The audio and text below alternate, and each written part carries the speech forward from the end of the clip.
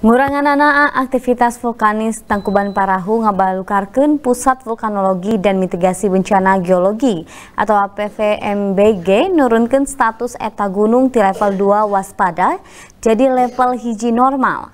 Najan gitu PVMBG Badan Geologi tetap ngarekomendasikan wisatawan tengah deketan kawah ratu atau ngadeg-deg kamang pirang kawah aktif sejena di Tangkuban Parahu.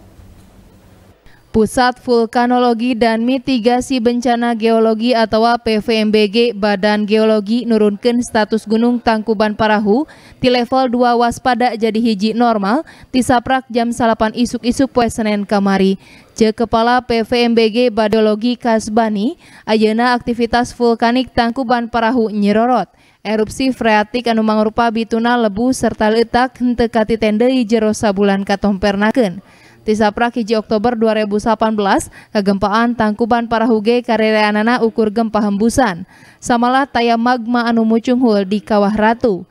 Najan kitu kasbab ngarekomendasikeun sangkan wisatawan henteu ngadeukeutan Kawah Ratu atau pirang kawah aktif sejena di sakuliah Tangkuban Parahu.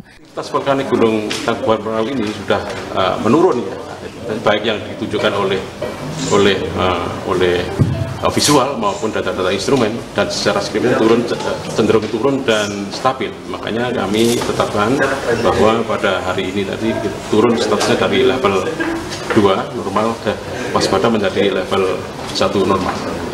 Sajroning itu dumasar karena panitenan PVMBG Badan Geologi aktivitas vulkanik sababara gunung sejena kawas anak Krakatau jeung Merapi masih dina level 2 waspada.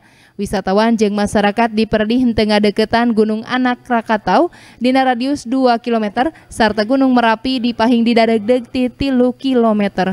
Budi Hartati, Bandung TV.